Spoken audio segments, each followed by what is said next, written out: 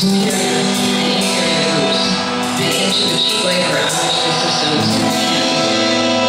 talking about a society in which there will be no roles other than those chosen or those earned. We are really talking about humans.